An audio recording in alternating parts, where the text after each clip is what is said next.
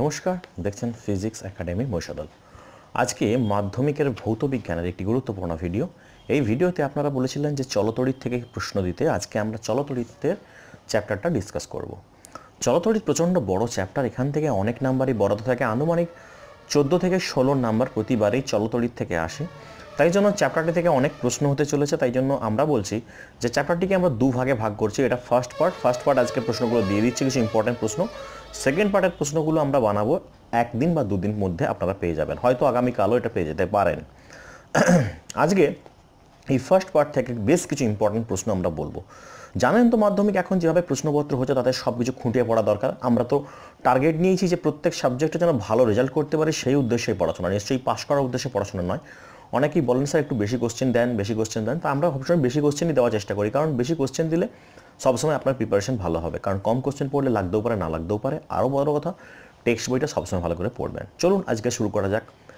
ভৌত বিজ্ঞানের চলো তড়িৎ চ্যাপ্টার যেখান থেকে কী কী প্রশ্ন পড়তে পারে। তার আগে একটা জিনিস বলে রাখি। মাধ্যমিক লাইফ সায়েন্সের ইতিমধ্যেই আমরা কিন্তু সাজেশন যেটা এমসিকিউ সাজেশন এটা আপলোড করে দিয়েছি। কোথায় পাবেন? উপরে দেখুন লিঙ্ক আছে লিঙ্কের ডেসক্রিপশনে লিঙ্ক আছে, পেয়ে যাবেন। এবং উপরেও লিঙ্ক আছে, দেখুন, যে কোনো একটা জায়গায় ক্লিক করলেই সরাসরি ওয়েবসাইটে চলে যাবেন। ওখান থেকে মাধ্যমিক এমসিকিউ যে ফাইনাল সাজেশন দু হাজার জন্য, যেটা টেস্ট প্লাস ফাইনাল দুটোর ক্ষেত্রেই কাজে লাগবে, সেরকম দেওয়া হয়েছে।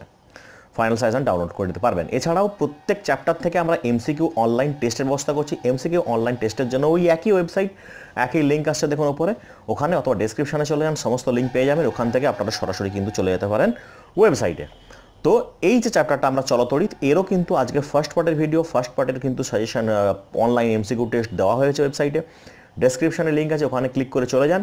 এবং সেকেন্ড পার্ট যখন আপলোড করব, তারও কিন্তু আমরা অনলাইন এমসিকিউ টেস্ট করব। রেগুলার এমসিকিউ টেস্ট আমরা আপলোড করছি, আপনারা ওয়েবসাইট রেগুলার ভিজিট করুন। ভিজিট করে আপনারা অনলাইন টেস্ট দিয়েছি, সেগুলো আপনারা দিতে থাকুন। প্র্যাকটিস করলে কিন্তু আপনাদের সম্পূর্ণ যে এমসিকিউর যে চিন্তাটা, সেটা কিন্তু দূর হয়ে যাবে, অনেকটাই আপনারা এমসিকিউতে স্ট্রং হয়ে যাবেন।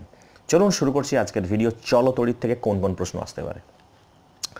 প্রথম যে প্রশ্নটা কথা বলব, আধানের মাতৃ সংকেত মাতৃ সংকেত বলতে কিন্তু মাত্রা লিখতে বলতে পারে।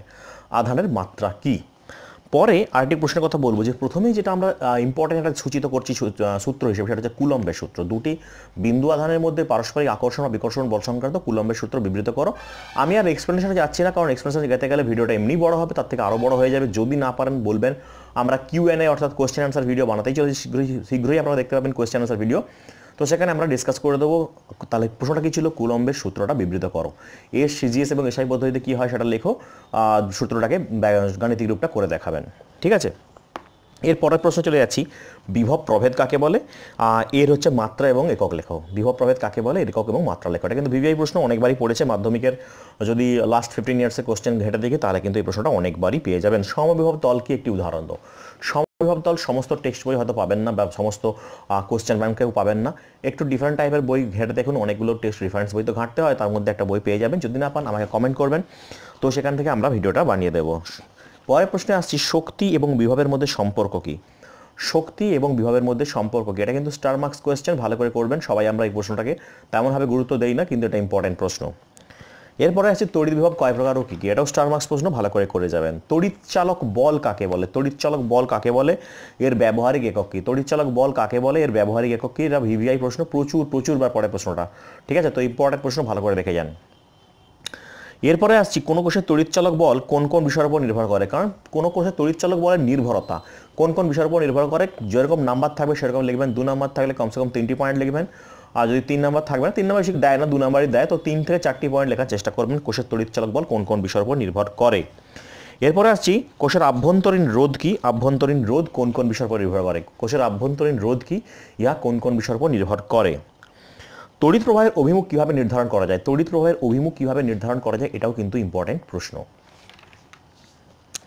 তো চলে যাচ্ছি, কোষের তড়িৎচালক বলের মান বিভব প্রভেদের মান কোষের তড়িৎচালক বলের চেয়ে বেশি হয় বা কম হয় ব্যাখ্যা করতে বলে। এ ধরনের প্রশ্ন, ব্যাখ্যামূলক প্রশ্নের ক্ষেত্রে আপনারা কি করবেন? একটু কনসেপ্ট নিয়ে প্রশ্নটা ব্যাখ্যা করবেন। কারণ সবসময় বইয়ের ভাষা লেখাটাও ঠিক নয়, তাই জন্য আপনারা একটু পড়ে বুঝে নেবেন, বুঝে নিজের ভাষায় লেখার চেষ্টা করবেন। সংজ্ঞা কিন্তু নিজের ভাষা লিখতে বলি না, বাকি কিন্তু সে, বাকিগুলো কিন্তু ব্যাখ্যামূলকগুলো কিন্তু নিজের ভাষায় লেখা যায়। এছাড়াও নষ্ট ভোল্ট কি? এটাও কিন্তু ইম্পর্ট্যান্ট প্রশ্ন, নষ্ট ভোল্ট কি? তড়িৎ প্রবাহমাত্রার সংজ্ঞা দাও। তড়িৎ প্রবাহমাত্রার সংজ্ঞাটা ভেরি ভেরি ইম্পর্টেন্ট এর এককটাও কিন্তু ভালো করে করে যাবেন। যখনই কোনো সংজ্ঞা করবেন, তার উদাহরণ থাকলে, উদাহরণ, একক থাকলে একক ভালো করে করে যাবেন। এর পরে যে প্রশ্নটা কথা বলব, কোনো কোষের গৌণ, কোনো গৌণ কোষের সামর্থ্য তিরিশ অ্যাম্পিয়ার ঘণ্টা বলতে কি বোঝো? কোনো গৌণ কোষের সামর্থ্য তিরিশ অ্যাম্পিয়ার ঘণ্টা বলতে কি বোঝো? এরপরে যে প্রশ্নটা কথা আসছে, সেটা হচ্ছে যে পৃথিবীর বিভব আমরা কত ধরেছি সেটা শূন্য। পৃথিবীর বিভব শূন্য ধরা হয় কেন? যদি জিজ্ঞাসা করা হয় ব্যাখ্যামূলক প্রশ্ন হয়ে যায়। যেটা দু নম্বরের প্রশ্ন হতে পারে, সেই পৃথিবীর বিভব শূন্য ধরা হয় কেন? এটা কিন্তু ইম্পর্টেন্ট প্রশ্ন। এর একটা পরে একটা ইম্পর্টেন্ট প্রশ্নের কথা বলতে যাচ্ছি, সেটা হচ্ছে কোনো আহিত বস্তুর আধানের ন্যূনতম পরিমাণে কত হতে পারে? বস্তুর আধান five point eight ten minus nineteen coulomb এটা হতে পারে কি? ব্যাখ্যা করতে বলেছে। এই ধরনের প্রশ্নের ক্ষেত্রে কিন্তু আমরা সুন্দর করে ব্যাখ্যামূলকভাবে লেখার চেষ্টা করব। তড়িৎ চালক বল, এই যে বল কথাটা আসছে এটা কি আদৌ কোনো বল ব্যাখ্যা করতে বলে? মানে কীরকম প্রশ্নটা হতে পারে? তড়িৎ চালক বল আসলে কি কোনো আদৌ কোনো বল ব্যাখ্যা করো প্রশ্ন হতে পারে। তড়িৎ চালক বলের সঙ্গে বিভব প্রভেদের পার্থক্য লেখো, এটাও কিন্তু ভিভিআই প্রশ্ন, ভালো করে করে যাবেন। এরপরে আমরা সরাসরি চলে যাচ্ছি ওহমের সূত্র টপিকটা থেকে। ওহমের সূত্র বিবৃত করা বলতেই পারে। ওহমের সূত্র কি? তাপমাত্রা এবং অন্যান্য ভৌত অবস্থা অপরিবর্তিত থাকলে কোনো পরিবাহী প্রবাহ মাত্রা তার দুই প্রান্তের বিভব প্রভেদের সমানুপাতিক, অর্থাৎ V proportional to IR V is equal to IR R হচ্ছে প্রবাহের রোধ আই হচ্ছে প্রবাহ মাত্রা ভি হচ্ছে তড়িৎচালক বল বা বিভব প্রভেদ বলতে পারেন। তো বিভব প্রভেদ যে আমরা ভি ইজিক্যাল টু আইআর পেলাম, এখান থেকে রোধের সংজ্ঞা জানতে পাই কীভাবে লিখতে পারেন? যে ওহমের সূত্র থেকে রোধের সংজ্ঞা লেখো। না ভি আমরা জানি ওহমের সূত্রে গাণিতিক রূপ ভি সমান আইআর তাহলে আর সমান কি লিখতে পারি? ভি বাই আই তো আই যদি ওয়ান হয়, তাহলে ভি ইজিক্যাল টু আর সমান ভি হয়। লিখ এভাবে লেখা যায় যে কোনো পরিবাহীতে একক পরিমাণ তড়িৎ প্রবাহ বৃদ্ধি করতে গেলে যে পরিমাণ বিভব প্রভেদ প্রয়োজন, তাকে বলা পরিবাহী রোধ। অথবা বলতে পারেন যে কোনো পরিবাহীর রোধ হলো, বিভব প্রভেদ এবং প্রবাহ মাত্রার অনুপাতের সমান। ঠিক আছে? এভাবেও রোধের সংজ্ঞা চাই দিতে পারেন। যদি চায়, ওহমের সূত্র থেকে ব্যাখ্যা। এখানে ওহমের যে ওহমটা আছে, আমাদের রোধের একক ওহম, এই রোধতে কোন কোন বিষয়ের উপর নির্ভর করে, এটাও কিন্তু ভেরি ভেরি ভেরি ইম্পর্টেন্ট প্রশ্ন। রোধ কোন কোন বিষয়ের উপর নির্ভর করে? এছাড়া আরেকটি প্রশ্নের কথা বলতে চাইব, যে ধরুন, যখন আমরা গ্রাফ করব গ্রাফ কার কার graph VI characteristics graph VI characteristics মানে ভিআই লেখচিত্র।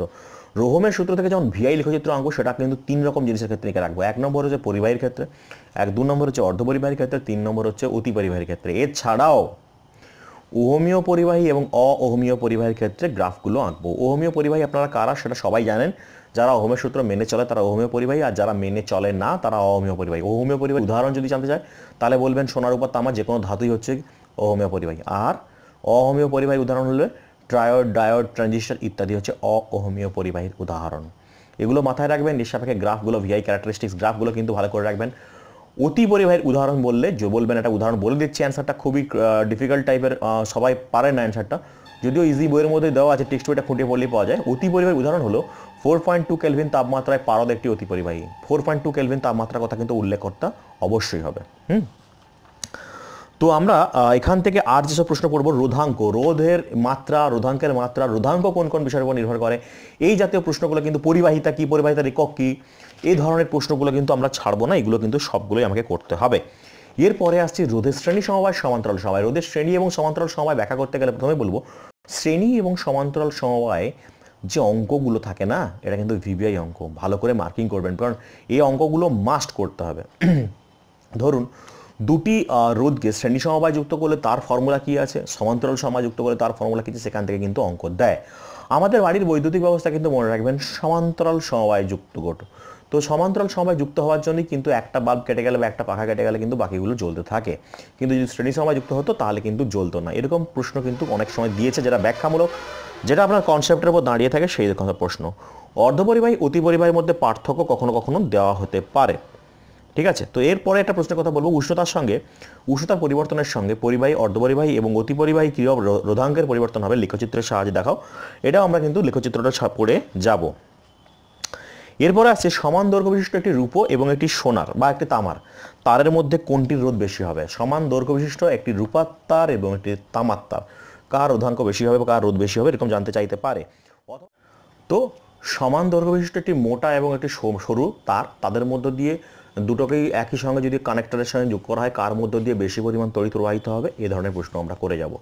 বেসিক্যালি দুটো পার্থক্যের কথা বলছি, তড়িৎ চালক বলের সঙ্গে বিভব পার্থক্যের পার্থক্য এবং রোধ এবং রোধাঙ্কের মধ্যে পার্থক্য। তো এটাই ছিল ফার্স্ট পার্টের ভিডিও সেকেন্ড পার্টের ভিডিওর জন্য ওয়েট করুন, যেখানে বাকি পার্টের বাকি অংশগুলো নিয়ে আমরা ডিসকাস করে দেবো কোন কোন প্রশ্ন আসবে।